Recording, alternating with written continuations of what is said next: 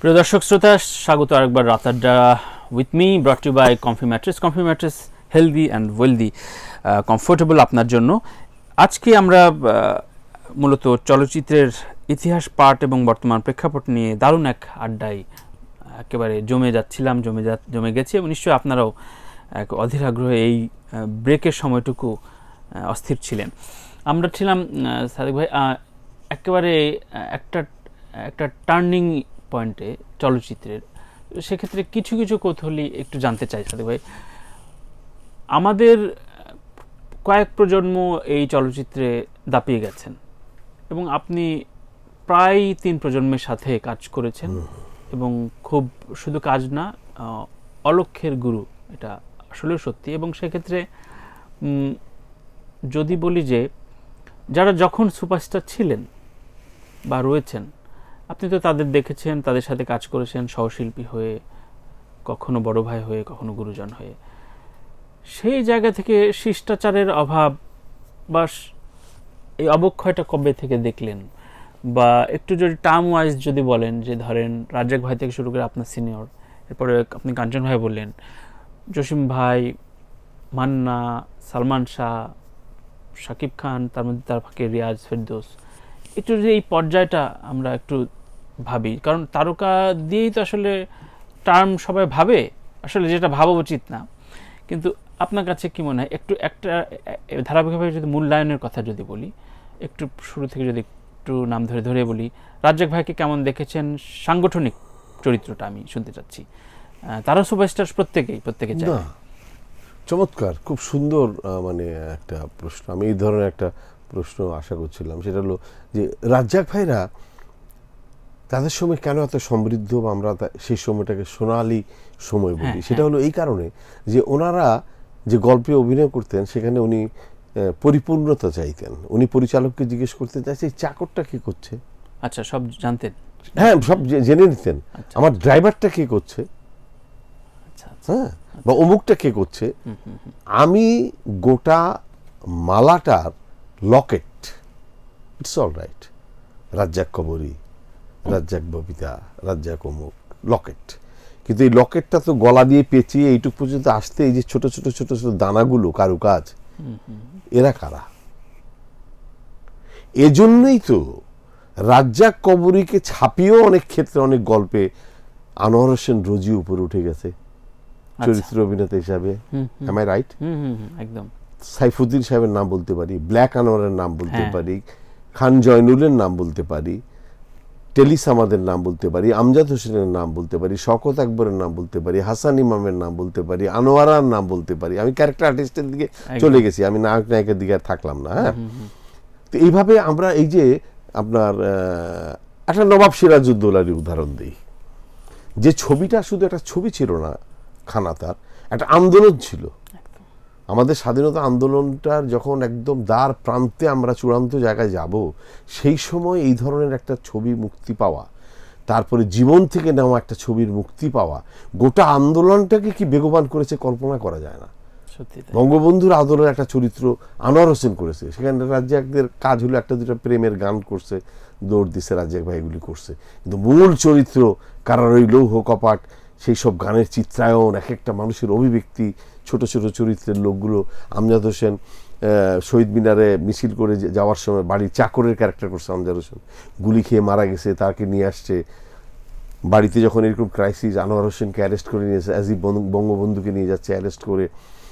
এই যে ব্যাপারগুলো, ও আমার দেশের মাটি তোমার পরে ঠেকা ঠেকাই মাথা, ধান ক্ষেতের কাছে গিয়ে বিশাল বিস্তীর্ণ আপনার দিগন্তের মাঝখানে গান এই যে সমস্ত কিছু দিয়ে যে ভরাট থাকতো ছবিগুলো চূড়ান্ত বাণিজ্যিক ছবিগুলিতে পর্যন্ত যদি আমরা আলোচনা করি। সেখানেও পুঙ্খানুপুঙ্খভাবে প্রতিটি চরিত্রের শিল্পী ওইভাবে বাছাই করে নেওয়া হতো। তার পরবর্তীতে আমরা কি দেখলাম? এখানে আমি আবার যোগ করব একই সাথে যে পুরনোদের দায়বদ্ধতার জায়গা থেকে তারা কিছুটা সরেছিলেন। সরেছিলেন। সরেছিলেন। তা নাহলে আমাদের এই দুর্গতি হতো না। আমি যদি যে সংসারে পিতার সম্মান অর্জন করেছি সেই পিতার কিন্তু একটা দায়বদ্ধতা থাকে যে বাকি সন্তানগুলো আমার মানুষ হচ্ছে কিনা। আমি মানলাম রাজ্জাক ভাই। রাজ্জাক ভাই তো ফিল্ম ইন্ডাস্ট্রির জন্য কোনো কিছুই তো করে রেখে যান নাই। রাজ্জাক ভাইয়ের একটা স্টুডিও নাই রাজ্জাক ভাইয়ের একটা রেকর্ডিং স্টুডিও নাই রাজ্জাক ভাইয়ের একটা রাজলক্ষ্মী আছে। স্পষ্ট উচ্চারণ। একদম একদম আমি যথাযথ শ্রদ্ধা অবনত মস্তকে আমি বলব এই কথাটা। শকত আকবর সাহেব তো কিছু করে যান নাই হাসান ইমাম সাহেব তো কিছু করে যান নাই করছেন না হ্যাঁ। যেহেতু জীবিত। তারপরে আমি আমি খানাদার কথা বলতে পারি একটা স্টুডিও অন্তত করছিল শ্রুতি স্টুডিওটা কি যেন এরকম একটা নামে না? তো এরকম এইগুলির দায়বদ্ধতা কিন্তু তার চেয়ে গেল সেগুলি আহ, না করল শিল্প কি বলে স্টুডিও এফডিসি অমুক তমুক ডেভেলপমেন্টের কাজ ফিল্মের। কিন্তু নিয়মিত অভিনয় করে ওনার বয়স অনুপাতের চরিত্রগুলি তৈরি হওয়ার জন্য ওনাদের যে পরিচালকগুলি বেকার হয়ে গেল ওনারা কাজ না করার সুবাদে। একটার সাথে একটা গাঁথা তো। স্যালুট আপনাকে একদম। রাজ্জাক ভাই হিরোর কাজ করবে না এখন জুনিয়র একটা ডাইরেক্টর তো রাজ্জাক ভাইকে নিয়ে কাজ করবে না। সে সাহসী করবে না রাজ্জাক ভাইকে ডিরেকশন দেওয়ার। তাহলে কি হলো সুতাগুলো কেটে গেল ছিঁড়ে গেল ভাকাট্টা হয়ে গেল ঘুড়ি। রাজ্জাক ভাই বলল না আমি কে কে ছেলে? কে ডিরেকশন দেবে? না আমি করব না। রাজ্জাক ভাই যদি বলতো বা শকত আকবর যদি বলতো বা তার পরবর্তী প্রজন্ম না আমি রাজ্জাক ভাইকে বারবার শ্রদ্ধা জানানোর জন্য ওনার নামটা সহ আসতেছি। তারপরে কাঞ্চন সাহেব আমি জীবিত আছেন তারপরে আমি বলতে পারি আলমগীর সাহেব ইভেন ফারুক ভাই কেন ওনারা অভিনয় করবেন না এখন? কথা সেটাই মানে আপনি উনি ফারুক ভাই তো আমাদের কাছে অভিনেতা হিসাবে। হ্যাঁ হ্যাঁ হ্যাঁ। উনি ঢাকার মিয়া ভাই তো আমাদের মানে মিয়া ভাইটাও তো ফিল্মের জন্য। ফিল্মের জন্য। তো সেই জায়গা থেকে এই তারা একেবারেই তো তারা যখন এইভাবে আপনার নিজেদের দায়িত্বের কাছ থেকে সরে গেল, তখন ওই যে ভাকারটা হয়ে গেল। এরপরে যারা আসতো তারা কেউ মুরব্বী পেল না। তারা দেখে যার এই তো খোলা মাঠ। আমি যা বলি সেটাই তো সত্য। রিয়াজ মনে করে আমি যা বলি সেটাই সত্য। ফেরদৌস মনে করে আমি যা বলি সেটাই ঠিক। নাইম বলে আমি যা বলি সেটাই ঠিক। ছেলে পেলে যে আসে নাই তা তো নয়। ওমর সানির মতো এরকম একটা সুদর্শন ছেলে এত অল্পে অল্পতে শেষ হয়ে যাবে কেন? সে বলে যে আমি যা বলি সেটাই মানতে হবে সেটাই চূড়ান্ত। আর সিনিয়র ডাইরেক্টরগুলো কি হলো? আমি আদর্শন ওই বারান্দায় বসে থাকে। সুভাষ দত্ত বারান্দায় বসে থাকে। খুব প্রকট সত্য। তো এইভাবে কাট কাট কাট কাট হয়ে গেল। দিয়ে এই এখনকার পর্যায়ে এসে এদের নামও জানি না এদের কর্মের তো আর ইয়েই দিলাম না। মানে অর্থাৎ প্রজন্মের সাথে আসলে খাপ খাইতে চাননি বা পারেননি? পারেনি তা না হলে আমি এখানে উদাহরণ হিসাবে একটা জিনিস বলব। সেটা হলো শাহরুখ খান এখনও অমিতাভ বচ্চনের পাশে দাঁড়িয়ে অভিনয় করে কীভাবে? অন্য বাবা তো নিতে পারে। অমিতাভ তো বলতে পারে যে না আমি আর অভিনয় করব না ছেড়ে দিই। অমিতাভ আজও অভিনয় করতে রাজি হয়। আজও স্ক্রিপ্ট রাইটার অমিতাভকে লালন করতে পারে ওই ধরনের চরিত্র লেখে। তারপরে শাহরুখ খান গিয়ে যখন এই প্রজন্মের আপনার সুপার ডুপার স্টার সে অমিতাভের পাশে গিয়ে দাঁড়িয়ে যখন ড্রামা করে, তখন তো মনে হয় যে হ্যাঁ একটা কিছু হচ্ছে। তাহলে সেরকম স্ক্রিপ্ট রাইটার লাগবে, সেরকম ডাইরেক্টর লাগবে, সেরকম ক্যামেরাম্যান লাগবে, সেরকম কিছু লাগবে। ওই যে আমাদের সিনিয়ররা বাকারটা করে দিল, না না, এই ছেলের সাথে সেকেন্ড হিরোকে ওর বাপ আমি হতে যাব কেন? আমি কেন রিয়াজের বাপ হব? আচ্ছা মানে এই ধরনের আপত্তি এই মানসিকতাগুলি চলে আসলো আমি কারও শ্রদ্ধারে কি বলছি। হ্যাঁ। এতে কি হলো? যে শাসন কমে গেল দুঃশাসন চলে আসলো চলচ্চিত্রে। আমার স্বেচ্ছাচারিতা প্রতিষ্ঠিত হলো। দুঃশাসন না বলে স্বেচ্ছাচারিতা কারণ আমাকে তো নিয়ন্ত্রণ করার কেউ নাই। সেটা কি খুব প্রকটভাবে মান্নার আমল থেকে শুরু হলো? না না মান্নার মধ্যে জিনিসটা ছিল। ছিল। হ্যাঁ হ্যাঁ হ্যাঁ মান্নার কথা আমি বলব। মান্নার আপাদমস্তক চলচ্চিত্র। চলচ্চিত্র। ভাই, সবাই বলেন আপনি মানে সে কেন এই- কথা প্রায় সবার মুখ থেকে কেন শুনি? একটু বলবেন আপাদমস্তক বলতে আপনি মানে মানে বিষয়টার একটু যদি ব্যাখ্যা দিতেন বিষয়টা এরকম যে মানুষের তো একটু রিল্যাক্সেরও দরকার হয়। মান্নাকে আমি নিজেও বলছি। জি। যে একটু বসে গল্প করতেছি চা খাইতেছি। আচ্ছা বাচ্চু ভাই এই যে সিকোয়েন্সটা আমি ডেলিভারি দিলাম এটাকে আবার রিটেক দিব? কেন? এই জায়গাটায় আপনারা যেরকম করে সংলাপ ভাঙেন আমার মনে হয় ওই রকম করে আমি প্যাচ দিয়ে ডাইরেক্টর বলতে বসে আবার আপনার সাথে আলাপ করতো। হ্যাঁ। আচ্ছা আচ্ছা। গেল। গাড়িতে করে বেরোলাম হয়তো রাত্রেবেলায়। আরে আমার বাসা তো ওইদিকে। চলেন না বাচ্চু ওই খালি শহর ঘুরতেছে একটু ঘুরতেছে। এভাবে। আচ্ছা এরকম একটা গল্প আমার মাথায় এখন ঘুরতেছে বলেন তো। একটা স্ক্রিপ্ট রাইটার আছে সাথে। আমি বলো তো গল্পটা বাচ্চুকের সামনে সে তো স্ক্রিপ্ট লেখে ইয়ে লেখে। নাটক লেখে কেমন লাগল আপনার কাছে এই সিকোয়েন্সটা এই গল্পটা? আমি যাই এই গল্পে। শেষের দিকে এসে মান্না ভাবতেছে আচ্ছা ভাই আমার তো বয়স হয়েছে একটু। এখন তো আমি আর শাবনুরকে নিয়ে অমুকরে নিয়ে নাটক ওই মানে ছবি করতে পারি না। আমার একটু ভারবারিকের দিকে ক্যারেক্টারগুলি আসা উচিত না। বড় ভাই একটু স্যাক্রিফাইসিং ক্যারেক্টার অমুক তুমুক। এই অর্থেই বললাম যে লোকটা আপাত মস্তক চলচ্চিত্র ছিল। সময়কে বুঝতেন এবং মৃত্যুর আগের দিন পর্যন্ত রাত্র বারোটা পর্যন্ত সে শুটিং করছে. নিজে গাড়ি ড্রাইভ করে চলে আসছি বুকে ব্যথা। তো এইটা আমি আমি আমি বলব আমি দোষারোপ করার ধৃষ্টতা আমি দেখাই না কাউকেই। আমি আমি মনে করি যে একটা দায়বদ্ধতা। এই যে আজকে আমি আমাকে যে প্রশ্নটা করা হলো একটু আগে তুমি করলা সেটা হলো এইরকম। যে আপনি একটা দিক ঠিক করলেন না আপনি এরকম দিক বেদিক যখন যা চরিত্র পাইলেন এরকম পাগলাটে কাজ কি করে করলেন? তার ব্যাখ্যা আমি দিয়েছি। এতে তোমরা সন্তুষ্ট কিনা আমার প্রিয় শ্রোতারা সন্তুষ্ট কথা আমি জানি না। হ্যাঁ। আমি জানি না। আমার কাজ হলো কাজ করে যাওয়া এবং পরিচালকটা মনে করেছে যে না এই লোকটাকে দিয়ে তো চাকরও হয়। আমি একটা সিকোয়েন্স না দুইটা বোধহয় সিকোয়েন্সের ছবিতে ছবিতে দুইটা সিকোয়েন্স আমার। এই সময়ের সাদেক বাচ্চু করেছেন? এই যে মনের মতো মানুষ পাইলাম না এই ইয়ের ছবি জাকির হোসেন রাজুর ছবি। আচ্ছা আচ্ছা। ইয়ের বাড়ির চাকর। একটা সিকোয়েন্স করছি। সাকিব সিকোয়েন্সটা করার পরে পনেরো মিনিট আমাকে বুকে জড়া ধরে রাখছে। ইমোশনালি বাচ্চু ভাই, এই একটা সিকোয়েন্সের জন্যই আমি আপনাকে টেলিফোন করছি। বাচ্চু ভাই, আপনি কারণ ডাইরেক্টর দুইবার আমার বাসায় গেছে। আমি বলছি দূরও কেন এটা মানুষ নানাভাবে কথা বলবে? একটা সিকোয়েন্সের জন্য আমার এইভাবে নিয়ে না। কিন্তু ওই সাকিব বলছে, না, আপনি এটা করেন। সত্যি তাই। মানে এটা নিয়ে অনেকে আলোচনা হচ্ছে যে তারকা থাকছে কিন্তু তারকার আশপাশের এত অ্যামেচার কিছু মুখ তৈরি হচ্ছে যেগুলোতে আসলে প্রাণ নাই তো। এখন কথা হলো কত কত আর নিচে নামার কথা বলব লজ্জার কথা। গাড়ির ড্রাইভার অর একটা ইয়ে এই আমার ওই ছেলেটাকে দাঁড় করা দিত এইভাবে ইনস্ট্যান্ট হ্যাঁ। আমি আমি আমার বন্ধু ফরিদির কথা বলব। সে বহুদিন সেট থেকে রাগ হয়ে বাইরে গেছে। এই এটা কারে দাঁড় করেছে আমার পাশে? না কে? অ্যাক্টিং করে? অ্যাক্টিং জানে? রিয়াক্ট করতো। হাউ ডিয়ার ইউ আর যাকে তাকে দাঁড় করাই দিচ্ছে অভিনয়ের জন্যে। এখন হলো খালাতো ভাই ফুফাতো ভাই মামাতো ভাই এ, আমার, আহ, কুষ্টিয়া থেকে আইসে এই মিশা সদাগরের পিছনে একটু দাঁড় করা দেন না ওরে ভাই ওই দাঁড়ায় থাকাও তো একটা অভিনয়। অভিনয় লুকও তো একটা অভিনয়। ওইটা প্রমাণ করার জন্যই আমি ওই এক সিকোয়েন্সের ক্যারেক্টার করছি। সত্যি তাই। একটা আমি এই প্রসঙ্গে আ- আরও কিছুক্ষণ থাকব, আরও কিছু প্রশ্ন আসছে একটা বিষয় আমার একটু মাথায় আসছে। সাহেব ভাই অভিনয়ের ধারা বদল হয়েছে। আপনি দেখেছেন, আপনি সাথেই ছিলেন আপনি এটা। যেমন খুব লাউড অ্যাক্টিং প্রম্পট অ্যাক্টিং ভীষণ রকম মানে মানে লাউডলেস কি বল, খুব নর্মাল সুরে বলা অ্যাক্টিং সেগুলো অনেকভাবে সিনেমায় এসছে। আপনাদের ক্যারেক্টারে শক্তিশালী শব্দটা ইউজ করা হয় কেন শক্তিশালী অভিনেতা, এটার একটা ব্যাখ্যা আছে। নিশ্চয়ই আমাদের কাছেও রয়েছে। হুমায়ুন ফরিদি, সাদেক বাচ্চু, পরবর্তীতে এই অবস্থানে আসলে খেলো হয়ে গেল কেন? কি অর্থে?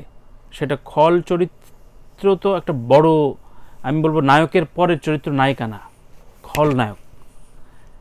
মানে এটাই কিন্তু সত্য। সত্য। প্রচারে হয়তো নায়িকাটা পেয়ে যায় নারী বলে কিন্তু মূল চরিত্রের জায়গায় তো নায়কের পরের অবস্থান কিন্তু। খল নায়ক না থাকলে তো গল্পই হবে গল্পই হবে না। তো গল্প তো নেগেটিভ পজিটিভ নিয়ে হয়। সো এটা এটা কি মনে হয়? আপনি আছেন এরপরে আর বলা যাচ্ছে না বলা যাচ্ছে না। আমি যদি ডিপজল ভাইয়ের কথা বলি ডিপজল ভাইয়ের অগণিত অশ্লীলতার অভিযোগ রয়েছে অগণিত নানান রকম ইয়ে আছে। কিন্তু এর পরবর্তী তার নেই কিন্তু। সো এটা এটা এই এই খরাটা কেন? এই খরাটা হলো সার্কাসের ক্লাউন আছে না? হ্যাঁ। সার্কাসে যে কমেডি করে হুম। যে লোকটা সেই লোকটা কে হয়? সেই লোকটা হয় বাকিরা যে রিং ঝুলে ঝুলে মজার মজার খেলা দিচ্ছে তিনটা চারটা পলটা খেয়ে আবার রিং ধরতেছে এদের প্রত্যেকের মাস্টার মাস্টার ফুটবল কোচ কে হয়? প্রত্যেকটা প্লেসে খেলতে জানে যে লোকটা। সেই লোকটাই কোচ হয়। সে রাইট আউটকে কীভাবে খেলাবে লেফট আউটকে কীভাবে খেলা, খেলাবে মিডফিল্ডের একে কী প্লেয়ারটাকে কীভাবে খেলাবে, তারপরে একদম মেইন ব্যাকে যে খেলতেছে, সে- কি করবে, কি করে খেলবে? চার চার চার পদ্ধতিতে আগালে কোন জায়গা থেকে বলটা, কোন সময় কোন জায়গায় প্লেস করলে কোন ফরওয়ার্ডকে কোন গ্যাপ দিয়ে বেরোতে আসবে, ওই তারপরে পাঁচটা আসবে, এই সব কিছু জানে যে এরকমটা হেইজ কোচ তো খল অভিনেতা, অভিনেত্রীদের বেলা আমি বলব, যারা অতীত ইতিহাস থেকেও দেখা গেছে, পরিপূর্ণতা লাভ করেছে, আমি আমাদের তো শিল্পী মধ্যে গণ্য ধরি না, তো বাইরের দেশেরও যদি আমরা বলি, তো এই মানুষগুলো মাস্টার এই মানুষগুলো চিরকালই মূল নায়ক যারা যারা উদার তাদের কথা বলব যে তারা ওই মানুষগুলির কাছে সবসময় শিখতো শিখেছে। ফরিদ ভাইয়ের সাথে আপনার সম্পর্কটা হা? হা হা হা হা হা। চোখে পানি চলে আসে। একটা দুটা ঘটনা কত গল্প মহিলা সমিতির সিঁড়িতে সারাক্ষণই চরিত্রের গল্প। তুই এইভাবে করিস তুই এটা করিস তুই এটা করিস তুই এটা করিস। ও আমি বলতাম আমাকেও বলতো মানে একসাথে তো ছবি করা। হ্যাঁ। তো এগুলি বলা যাবে না। মানে আমরা আমরা কোথায় যেন থাকতাম একটা অন্য জায়গায় একটা বিচরণ করতাম। যে জায়গাটায় ছিলাম আমি একটু বলি। সপ্তপদী নামে একটা ছবি আছে কলকাতার। আচ্ছা। উত্তম সুচিত্রা। বিখ্যাত। বিখ্যাত ছবি। সেখানে মেডিকেল কলেজের ছাত্র হলো উত্তম সুচিত্রা দুজনই। সেখানে নাটক হচ্ছে, শেক্সপিয়ারের একটা নাটক। ম্যাকবেথ বা কিছু এরকম, সেই নাটকের মূল নায়কের ক্যারেক্টারটা করতেছে উত্তম কুমার। সেখানে এক পৃষ্ঠা, দেড় পৃষ্ঠার মতো ইংলিশে একটা রিসাইটেশনের মতো আছে কবিতা আবৃত্তির। তো উত্তম ডায়লগ পোর্শন পর্যন্ত শুটিং করে, ওই ওই পোর্শন আসার পরে সে ডামি পারফরমেন্স দিয়ে সিকোয়েন্স শেষ করে দিয়ে গেছে। যাওয়ার সময় ডাইরেক্টরকে কানে কানে বলছে যে উৎপল দত্তকে দিয়ে এই পোর্শনটুকু ডাবিং করে ওই ইংরেজি ইংরেজির ওই জায়গাগুলো ওই এক্সেন্টগুলো আমি উত্তম দশবার জন্মাইলেও পারব না। উৎপল দত্ত একটা ভিলেন অ- মানে অজানা একটা গল্প বলে গেলাম তোমাদের। বিকাশ রায়। ছবি বিশ্বাস নির্মলেন্দু লাহিরি আরও একটা গল্প তোমাকে বলি যদি সময় থাকে বলতে পারি এরকম ছোটি সি মোলাকাত একটা ছবি উত্তম কুমার ভাবলো যে আমি একটু বোম্বেতে জায়গা করতে পারি কিনা করি। শর্মিলা ঠাকুরকে রাজি করালো বোম্বে গিয়ে শুটিং করল। তো এই কলকাতার শিল্পী লাহিরি নির্মলেন্দু লাহিরি তাকে কাস্ট করা হয়েছে। এর সংলাপ টংলাপ থাকতো না কিন্তু প্রত্যেকটা ছবিতে ওই লোকটার ইম্পর্টেন্ট ক্যারেক্টার থাকতো ডায়লগ নাই। আচ্ছা আচ্ছা। বাইজি বাড়িতে ওই কোচা দুধের কোচাটা এক উপরে নিয়ে বাইজি বাড়িতে নাচতেছে বাইজি নাচবে সে ওখানে থাকবে বাহ বাহ এরম সে অভিব্যক্তি ব্যক্ত করবে। তো টিকিট টুকিট সবাইকে দিয়ে টিয়ে তো উত্তমবাবু চলে গেছে সেট দেখতে বোম্বে সেখানে গিয়ে সেট টেট পড়ছে নাচের শুটিংয়ের দিন যেই জায়গাটায় ইয়েকে বসাবে ওই লাহিরির বসাবে ওই নির্মন্দ লাহিরে ওই জিজ্ঞেস করতেছে যে লাহা নির্মন্দ লাহা। বলে ও কই? এখন কাচু বাচু করতেছে assistant director production manager sir উনি তো আসে নাই। আসে নাই মানে? কি বলছো? বলে না ওনারা বাসায় গিয়ে খুঁজে টুজে আর পাওয়া যায় না কোনো খোঁজ খবর নেই। ওনারা তো টিকিট পৌঁছাই দিচ্ছে আগে কিচ্ছু বলে নাই। অ্যাডভান্সের টাকা পয়সা নিচ্ছে সব কিছু নিচ্ছে তো এক কাজ করি না স্যার এখানে অনেক আর্টিস্ট বোম্বে আর্টিস্টের অভাব আছে স্যার। নো ওই জায়গাটা তো আমি কল্পনাই করে রেখেছি ওর জন্য। বলে কোনো সংলাপ তো নাই, স্যার। বলে সংলাপ না থাকুক, ওর অ্যাক্টিভিটিসটা দিয়েই তো আমি ওই জায়গাটা সিচুয়েশনটা তৈরি করছি যে ওখানে নাচতে নাচতে শর্মিলা যখন যাবে, তিনবার, চারবার এই পুরো গানের মধ্যে চারটা, পাঁচটা কাজ করবে সে। অথবা এই পোর্শনটার ছবিটা তুলে নাও। যাই হোক শুটিং শেষ করে কলকাতা ওরা খুঁজে বের করছে। ওই, তুই যাসটাই কেন কেন? আমার প্লেন উঠতে ডর করে। ওই সেটের ওই পোর্শনটা ওই ছবি থেকে স্টিল থেকে ফেলে তারপরে ওই লোককে বসায় শর্মিলার দিয়ে ওই পোর্শনগুলি দিয়ে এডিট করে তারপর লাগাইছে। Oh এই- হলো চলচ্চিত্র এই হলো শিল্প। এইভাবে কাজ হয়েছে সেই ধারাবাহিকতা আমাদের এখানে হয়েছে। আমার এখানে কে? আমি নামগুলো যদি বলি ফাতে লোহানি। কাজী খালেক নামই শুনে নেই এই প্রজন্মের ছেলেপেলেরা। কি ভয়াবহ ভিলেন সূর্য স্নান ছবিতে জমিদারের ক্যারেক্টার করছে আনোয়ার হোসেন। এর ওয়াইফকে রেপ করে সে সে তার মেয়েকে নিয়ে পালিয়ে যায় আনু ভাই। কলিম সরাবিদি ওই গানটা আছে বিখ্যাত রবীন্দ্র ও আমার চক্ষু নাই। এরকম গান শুনেছে বোধ সূর্য স্নান। এদেশে একটা ছবি হয় যে ছবির নাম হতে পারে সূর্য স্নান। এদেশে ছবি হয়েছে যে ছবির নাম ধারাপাত মানে নামগুলো দেখলে আসলে অবক্ষয়ের বিষয়টা বোঝা যায় যে এদেশে একটা ছবি হচ্ছে যে ছবির নাম হইল কখ গঘ উম্ম। জীবন থেকে নেওয়া আবার তোরা মানুষ হ। গোলাপি এখন ট্রেনে তারপরে নামগুলি আমরা উল্লেখ করতে চাই না, সেই ডাইরেক্টররা জীবিত আমারে বলবে যে এগুলি কি নামগুলি কইলেন আপনি। একদম, আমরা ছোট্ট একটা বিরতি নিচ্ছি। বিরতির পর এই সময়ের আরও কিছু প্রেক্ষাপট এবং কিছু যেই ধারাবাহিক আলোচনায় ছিলাম সেটার বাকি অংশ নেব। শুনছেন, দেখছেন, রাতারডা brought to by Comfy Mattress Comfy Mattress healthy and comfortable আমরা রয়েছি চলচ্চিত্রের প্রাণপুরুষ সাদেক বাচ্চুর সাথে। আরও কিছুক্ষণ থাকব, সঙ্গে থাকুন।